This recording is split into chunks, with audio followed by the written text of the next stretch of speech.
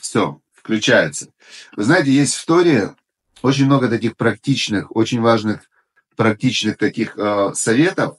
Вот один из самых практичных советов в Торе – это трактат Медила в Талмуде. Есть там такое выражение. Если скажут тебе э, Лойгата вымацата альтамин. Если скажут тебе, что кто-то не трудился и нашел что-то важное, ценное, не верь. Если скажут тебе, что игата вымацата, что кто-то трудился и нашел, верь. То есть есть вот такое вот там выражение, и мудрецы говорят, что э, чему оно нас учит? Оно нас учит как раз тому, что все ценное, все важное, оно приходит человеку через усилия, через э, усилия, через многократные попытки.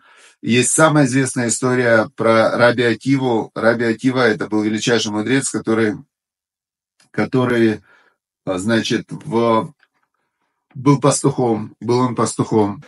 И его увидела девушка, которая была дочка олигарха. Того времени дочка олигарха, ее звали Рахель. И она увидела его, и она каким-то образом, она вдруг определила, что у него есть огромный духовный потенциал. И вот она ему говорит, я выйду за тебя замуж, если ты начнешь учить Тору. Он говорит, ну где Тора, где я? Я, говорит, «Э, мне уже 40 лет, я пастух. Какой, какой, говорит он ей, какой учить Тору? Какую Тору учить? Она говорит, я тебе говорю, выйду за тебя замуж. То есть, подумай. И Раби Айтива начинает уч... женится на ней, начинает учить Тору. Ее папа выгоняет ее из дома. Олигарх говорит, «Э, ты, говорит, как вообще, за кого ты замуж вышла, без моего согласия? Выгоняет их из дома, они живут в бедности. И самое в этой истории интересное, эта история одна из ключевых историй, на которых учится вот, ну, вообще, это, это Раби Атива, это образ величайшего мудреца. Он жил 2000 лет назад. Его знают, вот все религиозные евреи знают эту историю. Раби Атива, значит, он начинает учить Тору, и у него ничего не получается. И он продолжает работать пастухом, у них рождается ребенок, они живут в дикой бедности, но они очень добрые и очень оптимистичные. Это всегда в этой истории обращал внимание на несколько таких, знаете, маленьких зарисовок, что они жили в таком, а, как шалаш, да, такой, и он ей говорил, вот если когда-нибудь я стану богатым, он доставал, прям в Талмуде это написано, доставал соломинку из ее волос, говорит, я тебе куплю такую диадему, золотую диадему. То есть он все равно верил, что что-то может измениться в лучшую сторону его жизни. А вторая история, что они были настолько бедные, что просто жутко. И пришел к ним какой-то человек и говорит, вы знаете, у нас жена рожает, у меня жена рожает, а у нас нету даже соломы постелить на, на пол, то есть нам вообще негде жить. И они дали свой соломенный матрас, отдали, и он ей говорит, видишь, есть люди, которые живут еще беднее, чем мы.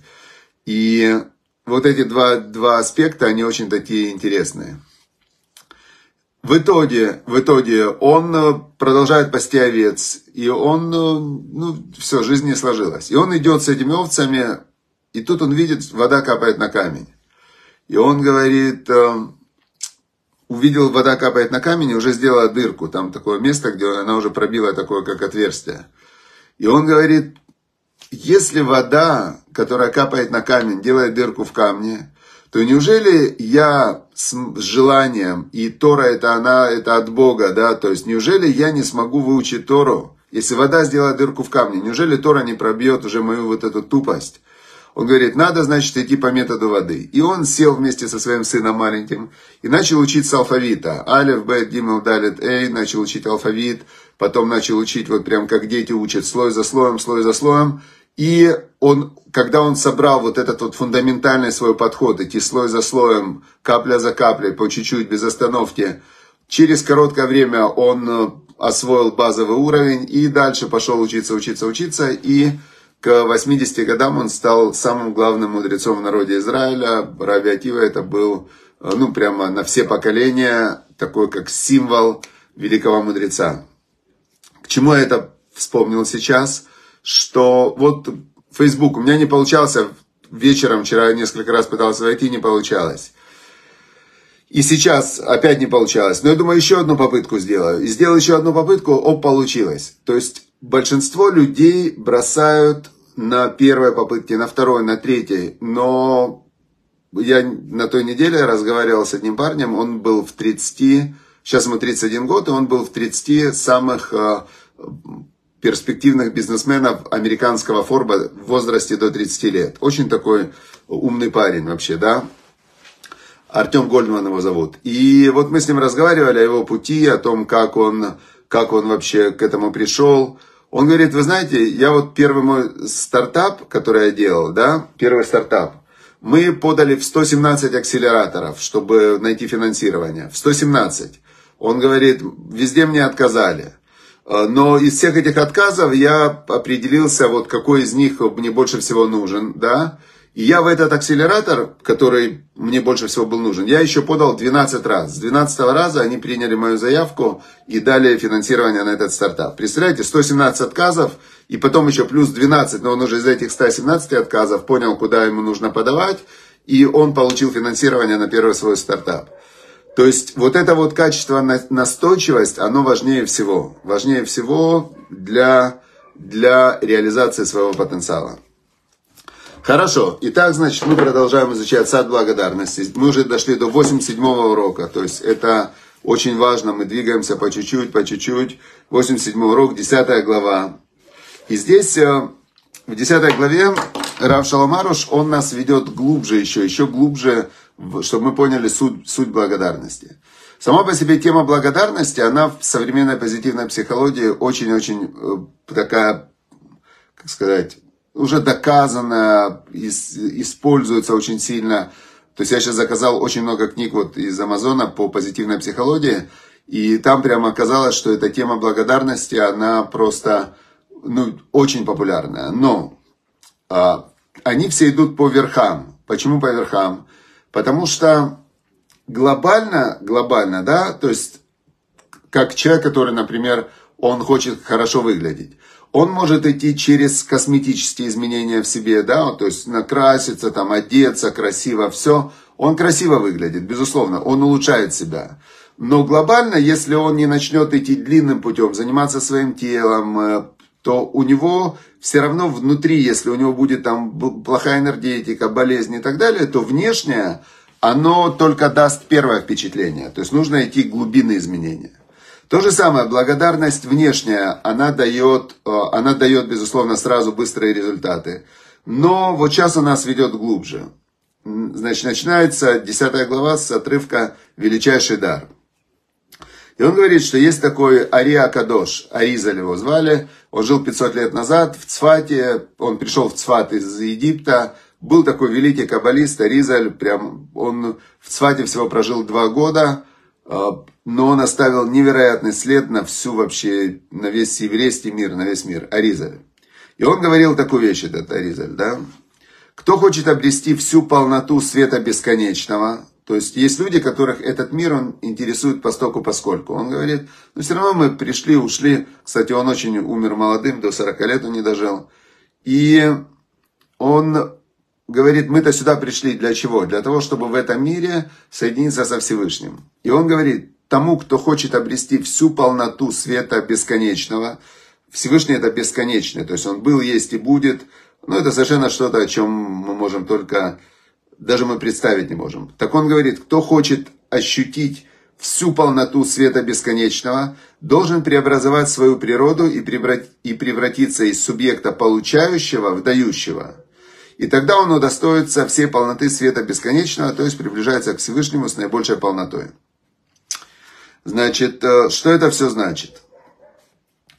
Э, есть природа человека. Природа человека, его, его животное, да, такая, как природа, его, мы же все все-таки тоже там млекопитающие, живо, живородящие, да, рождают уже живых людей, млекопитающие. То есть у человека тело, оно очень похоже на тело обезьяны, на тело оленя, например, да, то есть мы с вами такие, как олени, кони, кто бык, там, зайцы и так далее. То есть, э, чем животные занимаются? Они кушают, они выживают, они размножаются, И вся система, вот это животное тело, она на это запрограммирована. То есть мы запрограммированы такие на выживание вертикально ходящей лужи, если смотреть на, чисто на животную природу человека, да, на его тело. Теперь, а, что делает животное? Животное, оно хочет быстрее себе взять ресурсы, и животное все время, оно на, все время боится стать пищей для кого-то. То есть любое животное, оно само кого-то съедает, но само же является пищей для кого-то. И поэтому вся вот эта вот система человека, его эмоциональная сфера и так далее, все время на, на измене такой, да, что кто бы меня сейчас не съел. Причем на протяжении всей истории человечества, то действительно было опасно, очень опасно. Теперь и во всем вот этом вот э, материальном вертикально ходящей луже есть божественная душа. Вот этот божественный свет, это источник мироздания, творец, создатель, э, который сотворил миры, там вообще, ну, самое высшее, что только есть мудрость, это все высший разум, можно его назвать там. Ну, то есть, даже высший разум, это все равно как-то есть тут слово разум человеческий. А это еще выше, выше, выше, выше, то есть самое, что только не на есть, это Бог. И божественная душа, это как раз она входит как луч в эту вертикально ходящую лужу. И в интеллекте человека, вот в этом неокортексе, кора головного мозга, образуется но другая реальность. Эта реальность, она не относится к животному миру. Человек мечтает, он фантазирует, он занимается высшей математикой, астрономией какой-то занимается, там, он что еще, стихи пишет, да, там, со, в общем, какие-то выдумывает себе занятия непонятные. Э, для животных вообще непонятные. Да, вот оленю, зачем оленю высшая математика? А человек, он целые университеты построил, там э, кто-то мечтает стать профессором, кто-то доктором наук, там, кто-то просто доктором и так далее. Это все проявление божественной души, как Творца высшего разума. И вот человек соединен между этими двумя полюса, полюсами. Теперь главная часть животного – это брать, получать брать себе, забирать даже можно, да, то есть животные, они все время в поисках пищи хотят забрать у другого. А, Бог, его главное качество – давать. То есть теперь, когда человек, а, его я, его самоопределение, самоидентификация, self, на английском тоже есть такое слово self, значит, его персоналити, а, это самоосознание и ответ постоянный на вопрос «кто я?», да, кто я, куда я иду, какой я. То есть это вот и является как бы точкой сборки человека. И у каждого из нас идет вот эта вот э, точка сборки, да, она идет по шкале. Тот и становится все больше и больше животным. В какой момент человек становится полностью практически животным? Когда он спит. Когда он спит, у него отключено сознание, и это лежит тело, вот просто лежит тело, оно такое, оно живет полностью на инстинктах, на самосохранении, да, то есть включены системы, система какого-то жизнеобеспечения по минимуму, и настороже человек все время, да, чтобы, если какая-то опасность, проснуться. Теперь, а когда человек в, высшей своей, э, в высшем своем состоянии, когда он молится, когда он там в, входит в какие-то измененное состояние сознания, когда он себя осознает, но он как бы максимально отрывается от своего животного тела, да? Теперь дальше что? Он говорит такую вещь, Ария Кадош, который стремился максимально соединиться со Всевышним. Он говорит, это возможно только если ты уподобляешься своими качествами Всевышнему. Как это сделать? Он говорит, стать дающим.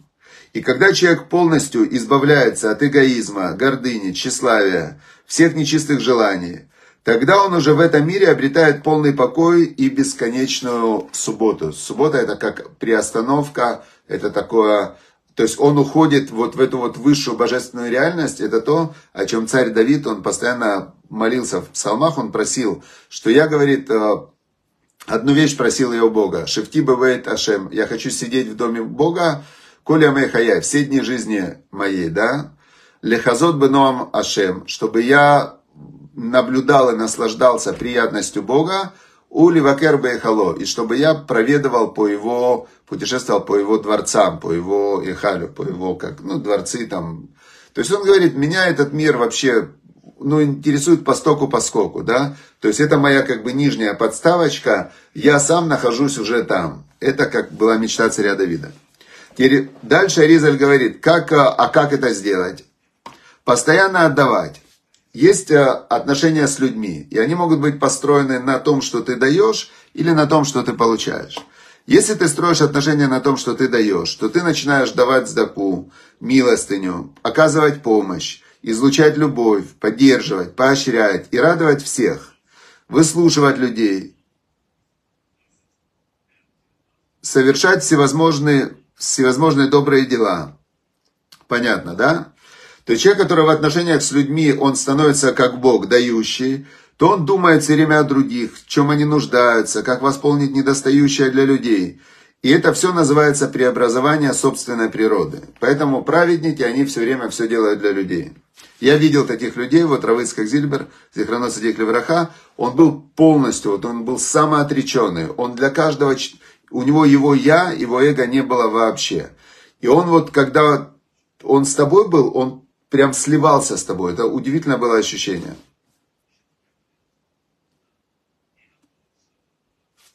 Теперь дальше. Особенно вот эти вот отношения между людьми, они проявляются где? Проявляются они в семье. И особенно важно в семейной жизни, он пишет. И мир в доме – это огромная работа. А, многие люди думают, что если у кого-то есть шломбайт, мир в доме, да, то это ему повезло. Ему повезло там с женой, с мужем, вообще он везучий. Он говорит, это ошибка. Мир в доме всегда это тяжелый труд. И здесь нет места чудесам и удачи. Все зависит от труда. Как говорили мудрецы, если тебе говорят, я трудился и нашел, верь. То есть мир в семье это тоже огромная работа.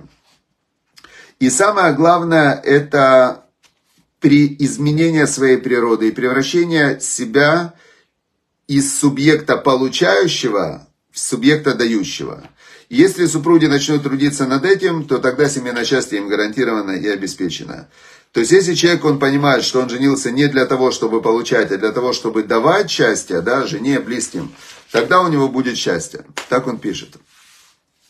И э, он говорит, когда человек вне дома отдает, то понятное дело, почему он отдает. Вне дома, как правило, человек не щадит себя, чтобы что-то получить взамен почет, деньги, статус, то есть все, что мы делаем вне дома, это чтобы что-то получить. Поэтому это не называется отдачей. Но дома человек снимает все маски, превращ... и начинается настоящая отдача супруге, супругу, детям и так далее. То есть такую он вещь пишет. Теперь, а дальше, а со Всевышним как стать дающим? Как можно стать дающим со Всевышним? Если Всевышний его суть давать, и у него все есть, он источник всего, как ты можешь со Всевышним из получающего стать дающим? Что мне дать тебе, если все твое? Так называется следующая глава. И тут он говорит такую вещь. Что можно дать Творцу, если все и так принадлежит ему? И он говорит так, ответ таков. Скажи спасибо, ведь благодарение это отдача. Когда благодарят, не ожидая воздаяния. Конечно, благодарение – это прекрасное средство для решения проблемы получения помощи. И некоторые люди говорят спасибо, чтобы что-то получить. Это уже не отдача. Речь идет о том, что о том, кто действительно хочет лишь благодарить, говорить спасибо снова и снова. Значит, э, вот тут как раз и кроется уже э, очень сложная задача. Смотрите, как получается. Вот мы с вами уже 87 уроков, 87 уроков мы с вами изучаем благодарность. И тот, кто начал это, тот, кто не просто изучал, а начал это практиковать конкретно, э, я знаю, что многие действительно начали это практиковать, то их жизнь преобразовалась кардинально. То есть э, э, настолько, вот я могу про себя сказать. Вот у меня вчера, например, там я ложусь спать, и у меня болит живот. Теперь, раньше я бы был сосредоточен, ой, у меня болит живот, болит живот, да? Теперь я иду по системе Равшаломаруша и говорю, спасибо Всевышнему, что у меня не болят уши. Спасибо Всевышнему, что у меня не болят глаза. Спасибо Всевышнему, что у меня не болит э, там голова. Что у меня, спасибо Всевышнему, что у меня не болят плечи. Спасибо за руки, которые не болят. За кисти, которые не болят. За локти, которые не болят. Я благодарю за каждое то, что я как бы не сосредоточен на том, что у меня болит, а я сосредоточен на том, что у меня не болит. и я за это благодарю, радуюсь, и вниманием как бы прохожу по всем работающим вот этим вот частям тела, и радуюсь, и благодарю, благодарю, благодарю. И в конце, как Рав Шаломаруш советовал, я говорю, ну и если бы у меня еще живот прошел, было бы вообще отлично. Бах, проходит живот. Слава Богу, спасибо Всевышнему, все прошло.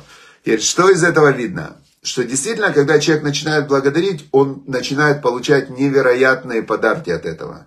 То есть его жизни кардинально улучшается. Но что нам говорит здесь э, Рав Шаламаруш? Он говорит так, что а нужно это благодарить от чистого сердца, чтобы не ожидая ничего взамен. Вот это вот выше, высший уровень. Но в какой момент высший уровень этот может проявиться? Только когда ты благодаришь за то, что... Если бы я благодарил за то, что живот болит, это был бы уже, наверное, высший уровень. Спасибо Всевышнему. Хотя и тут я бы все равно бы надеялся, что он пройдет. В общем, это и есть большая работа. Точно так же, как тяжело в отношениях с людьми стать из берущего дающим, но тут ты... Но это, это реально тяжело, то есть это перевернуть свою природу. Также тяжело со Всевышним э, стать по-настоящему дающим, э, стать проводником. Но это, это большая работа. Но во всяком случае направление понятно, да? Благодарность Всевышнему э, без подтекста, да, что я благодарю, чтобы получить, а благодарность, чтобы прославить Всевышнего, да, то есть это то, что он хотел, чтобы мы реально поняли, что все от него, что и через это понимание соединились с ним. Ну, так оно работает, если я правильно понял. Хорошо, теперь мы изучаем вторую книгу Happiness. Happiness – это счастье. И сегодня у нас как раз урок такой совпадает с первой частью того, что мы уже выучили – называется Appreciate People. Значит, э, цените людей. И это путь к счастью, ценить людей. Он говорит так, что прямо в этот момент, э, в котором мы с вами находимся, вот прямо сейчас, множество людей по всему миру, они задействованы, чтобы in serving you, чтобы служить тебе. А Алтенбек Тургунбай скажет, как это так?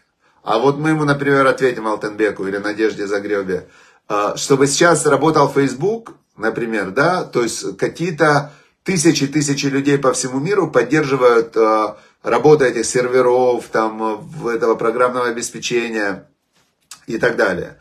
А, дальше он пишет, например, для того, чтобы мы с вами могли свободно здесь сидеть, то тысячи фермеров по всему миру они занимаются сельским хозяйством и выращивают еду там и так далее. Он говорит, конечно, не только фермеры, говорит, на тебя работает вся индустрия, одежду люди создавали для тебя, дизайнеры там и так далее, инженеры, механики, там, в общем, он говорит, весь мир сейчас задействован для того, чтобы ты мог сидеть и наслаждаться.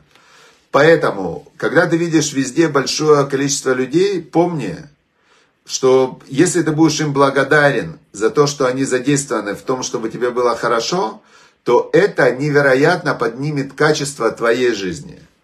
А если ты им скажешь еще спасибо за их помощь, то это в глобальном мире поднимет градус вот этого счастья, потому что каждый из нас понимает, насколько приятно, когда люди ценят то, что ты для них делаешь.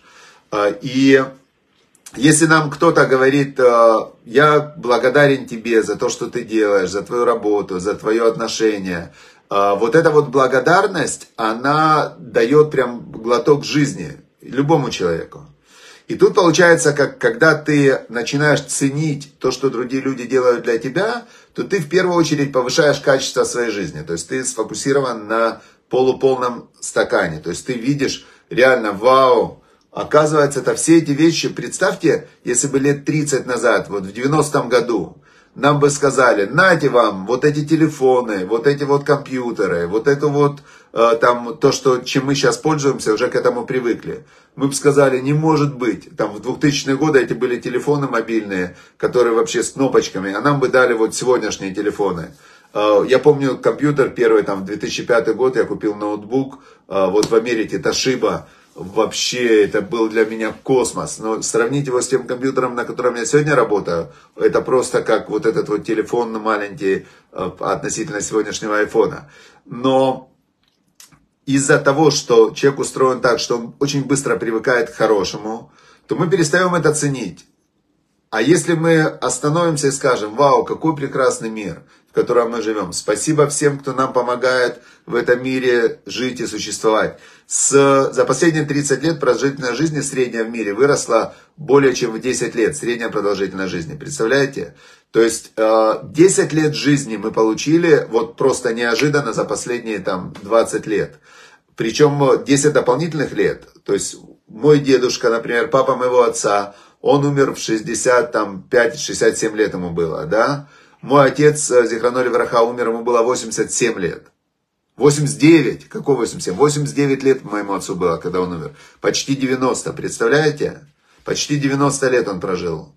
Вот. И почему на сегодняшний день медицина, качество жизни и все, оно улучшилось. Давайте скажем спасибо врачам, всем этим ученым, всем этим людям. Да, сейчас в данный момент есть э, войны. Но что, в чем причина этих войн? Именно в нашей неблагодарности. Если бы мы были радостны и счастливы, все время говорили спасибо Всевышнему за то, что так хорошо живется, никто бы не начал бы воевать. Кому нужно воевать, если ему хорошо?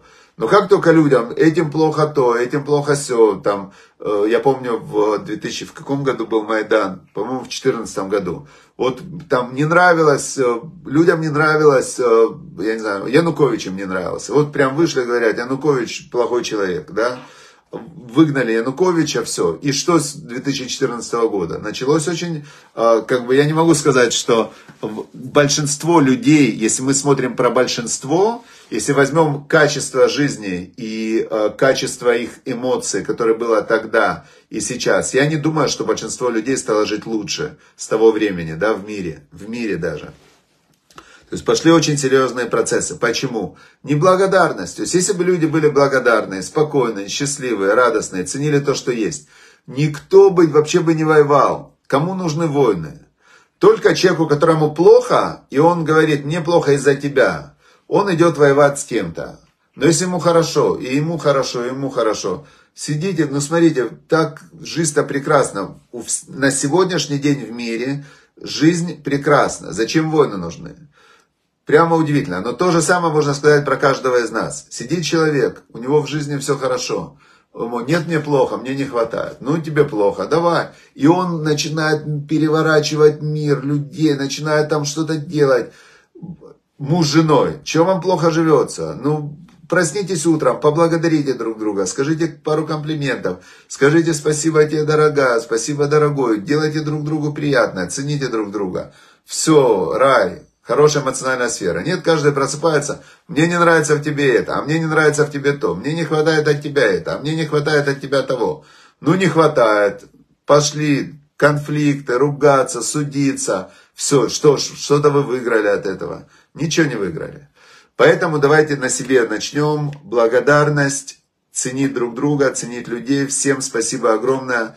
Я очень вас ценю. Спасибо огромное, что вы приходите на уроки. Спасибо огромное, что вот именно благодаря Владимиру Косякевичу, Вадим Колесник, Евгений, Дэн Дубравин. Дэну Дубравину огромное спасибо. Сколько лет я уже знаю Дэн Дубравина. Огромное спасибо Дэну. Прямо меня очень вдохновляет, что, Дэн, что ты приходишь. Один из лучших тренеров в Украине, психологи, тренера по эмоциональному интеллекту посещают уроки. Это очень-очень приятно и важно, что дальше это распространяется на всех его учеников, э, он автор книг и так далее. Всем вам огромное спасибо за то, что вы приходите на уроки, поддерживаете, практикуете, я уже нашел следующую книгу, которую мы будем изучать. Вот мы закончим сейчас вот эти вот 100 уроков счастья, и закончим мы сад благодарности, и дальше пойдем в этом направлении двигаться, потому что я лично очень счастлив тому, что мы изучаем эту книгу.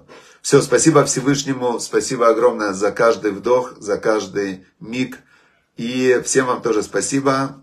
До завтра. С Божьей помощью. Завтра я скорее всего, да, я, скорее всего, будет урок. То есть у меня там утром я должен э, кое-что сделать, но я успею, я думаю, к 10. Так что с Божьей помощью встречаемся завтра. Все, спасибо, до завтра.